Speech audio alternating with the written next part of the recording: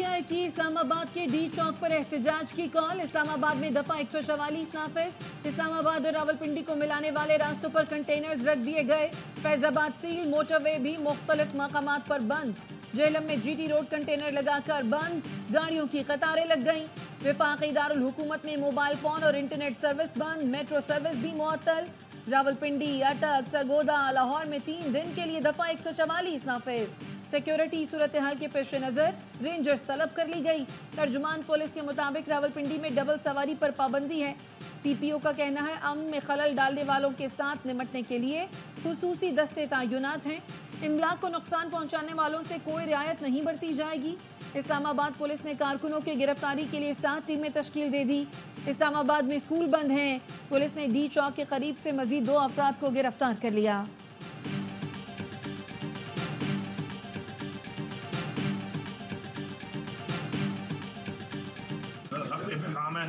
कि वक्त है। सबने निकलना है। और पाकिस्तान के आइन के तहफ़ के लिए हकीकी आज़ादी के लिए। हमने हर सभी कुर्बानी देनी है। और इन अल्लाह का फरमान है कि आपने कोशिश करनी है। हमारी मंजिल डी चौक है, वापस नहीं आएँगे। जब तक पानी पीटीआई की हिदायत नहीं आती, हम आगे जाएँगे। वज़ीर अला खैबर पख्तूनख्वा अली अमीन गंडापुर कहते हैं हकीकी आज़ादी के लिए सबको निकलना है। आइन की बहाली और हकीकी आज़ादी के लिए हम कोशिश जारी रखेंगे। मुशीर इतलात खैबर पख्तूनख्वा बैरिस सैफ ने कहा, हमारे पुरमन एहतजाज पर तशद करने की मनसूबाबंदी की जा रही है। लीगी सरकार ने गुल्लू बट तैयार कर लिए हैं। गुजशत रोज भी पंजाब पुलिस की जानब से फायरिंग और शैलिंग की गई। कौम जानती है पंजाब पुलिस और नून लीग की डोरें कहाँ से हिलाई जा रही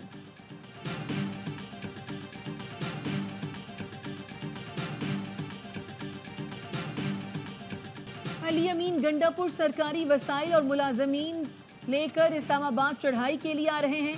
क्या इस किस्म की मशीनरी के साथ सियासी जद्दोजहद होती है? वज़ीर इतलात पंजाब अजमा बुखारी कहती हैं, इनकी प्लानिंग है लाशें गिरें और इनको कैश करें। सियासी लोग सियासी जद्दोजहद करते हैं, लेकिन ये दहशतगर्द जमात है। जो भी कानून तोड़ेगा, उसके साथ सख्ती से निपटा जाएगा।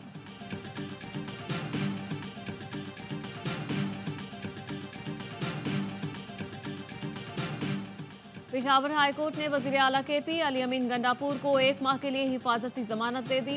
वकील ने अदालत में मौकफ अपनाया था कि दरख्वास्त गुजार इस्लामाबाद जाना चाहता है, लेकिन गिरफ्तारी का खदशा है। अली अमीन गंडापुर की दो मुकदमात में 25 अक्टूबर तक राहदारी जमानत भी मंजूर। हाईकोर्ट की दरख्वास्त गुजार को मुतल अदालतों में पेश होने की हिदायत।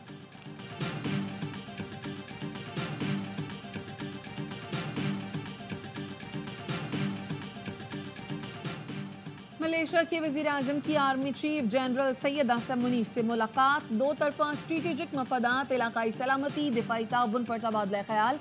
मलेशियन वज़ीर अजम ने इलाकाई अमन इसकाम में पाकिस्तान की मुसल्ह पाँच के किरदार को सराहा। दोनों बरदर ममालिक में दो तरफा ताल्लुक बिलखसूस फौजी ताल्लुक बढ़ाने की ज़रूरत पर ज़ोर दिया गया। आई एस पी आर के मुताबिक, मलेशियन वज़ीर अजम ने आर्मी चीफ को मलेशिया के दौरे की दावत दी। जनरल सैयद आसम मुनीर ने मलेशियन वज़ीर अजम का शुक्रिया अदा किया। मलेशिया के वज़ीर अजम को गुजशत रोज ऐवानी सदर में निशान पाकिस्तान से नवाजा गया था। मोजिज मेहमान को सदर ममलिकत की जानब से इशाइया भी दिया गया।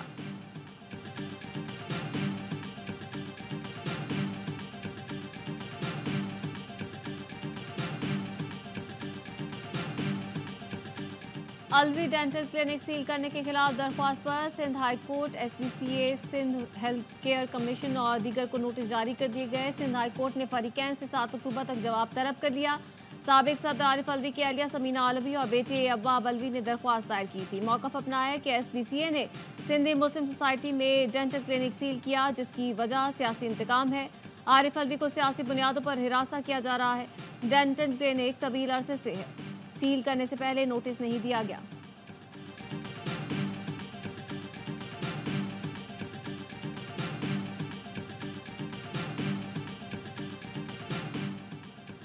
पीटीआई रहनुमा शेख वक्कास अकरम कहते हैं, पीटीआई की एमएनए रियाज पतियाना आजकल मुल्क से बाहर हैं। उनके बेटे एहसन रियाज को रात साढ़े तीन बजे घर से अगवा किया गया है। एहसन रियाज सबक एमपीए और उनकी वालदा पीटीआई की मौजूदा एमपीए हैं। अगवाकारों ने वारदात के दरमियान रियाज फतियाना के वोट का मुतालबा किया। एहसन रियाज फतियाना को फौरी बाजियाब कराया जाए।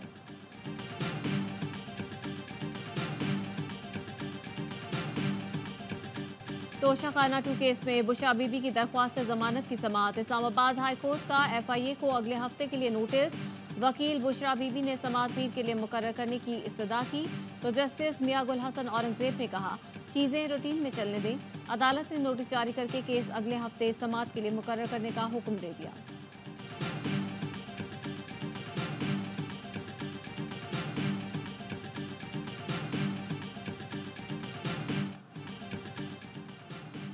अमीर जमात इस्लामी हाफिज नईम की मलेशियन वज़ीर अजम से मुलाकात। उम्मत मुसलमा, आलमी सियासी सूरत हाल पर बातचीत। मशरक वस्ती और फ़लस्तीन की सूरत हाल पर भी गुफ्तु हाफिज नईमान आज दोपहर दो बजे वज़ीर अजम शहबाज शरीफ से भी मुलाकात करेंगे।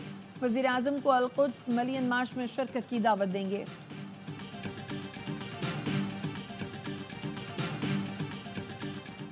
हम अपनी खजूर को पचानवे फ़ीसद ज़ाया कर रहे हैं। सिर्फ़ रमज़ान के महीने में खजूर की डिमांड पाँच हज़ार टन है।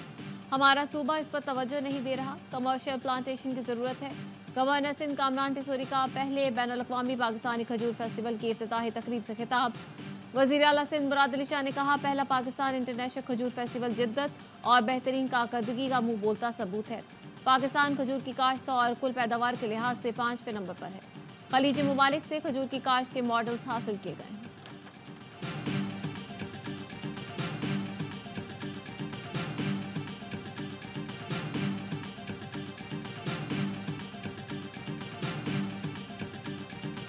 वज़ीर अला पंजाब मरीम नवाज़ ने माली वसाइल बढ़ाने के लिए प्लानिंग की हिदायत कर दी। कहती हैं, आवाम पर टैक्स बढ़ाए बगैर रेवेन्यू में इजाफा किया जाएगा। रेवेन्यू वसूली के टारगेट हर सूरत पूरे किए जाएँगे। खजाने में जमा पाई पाई आवाम पर खर्च होगी। वज़ीर अला पंजाब ने मुख्तलिफ़ महकमों की मिल्कियती अराजी का रिकॉर्ड भी तलब कर लिया।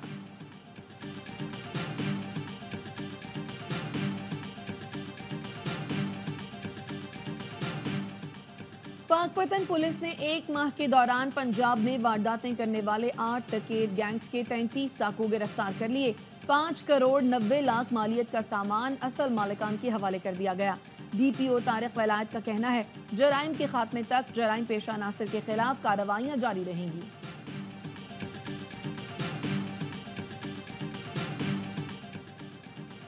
नेतन याहू ने मेरे बाथरूम में जासूसी आलात लगाए। सबक बरतानवी वजी अजम बोरिस जॉनसन का दावा। नई किताब में इंकशाफ किया। इसराइली वजी अजम से मुलाकात के बाद दफ्तर खारजा में उनकी ज़ाती टॉयलेट से जासूसी आलात बरामद हुए थे। 2017 में होने वाली मुलाकात के बाद इसराइली वजी अजम ने उनका टॉयलेट इस्तेमाल किया था। वर्ल्ड मेमन ऑर्गेनाइजेशन की बाईसवीं तीन रोजा सालाना जनरल मीटिंग डब्ल्यूएमओ के सदर सलमान अकबाल की सदारत में आज से लंदन में होगी। डब्ल्यूएमओ के तहत यूके में होने वाली सालाना जनरल मीटिंग मेमन कम्युनिटी का सबसे बड़ा इज्तम होगा। दुनिया भर से मेमन कम्युनिटी से ताल्लुक रखने वाले मारूफ समाजी और कारोबारी अफराद लंदन पहुँच गए। सालाना जनरल मीटिंग से पहले सदर W M O Salman Iqbal की जेर सदारत जायजा मीटिंग, मुख्तलिफ़ चैप्टर्स के अहदेदारान की शिरकत, अहम फैसले किए गए।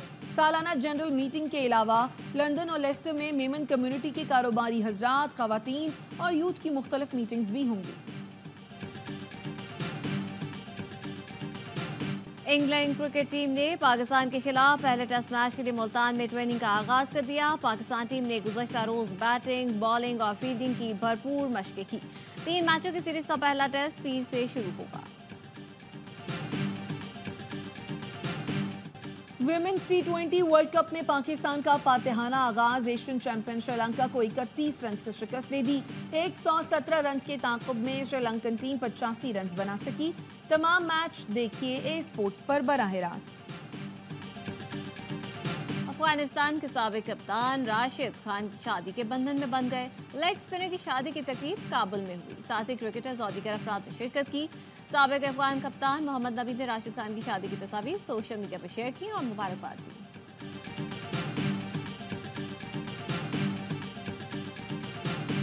कराची आर्ट्स काउंसिल में आलमी सकाफती मेला जारी। पाकिस्तानी और गैर मुल्की फनकारों की परफॉर्मेंसेस जारी।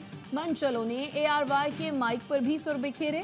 दुनिया भर से आए फनकार पाकिस्तान में बहुत खुश। अतालवी फनकारा का कराची की बिरयानी ने दिल जीत लिया।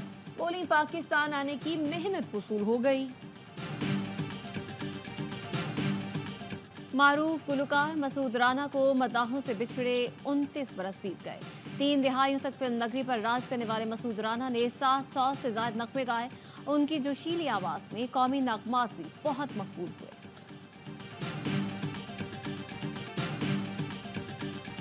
और खुश रहें, खुशियाँ बांटें और दिल खोल कर मुस्कुराएँ। पाकिस्तान समेत दुनिया भर में मुस्कुराहट का दिन मनाया जा रहा है। मकसद इंसानों के दरमियान बढ़ते फासलों में कमी लाना और एक दूसरे का एहसास करके दुख दर्द बांटना है।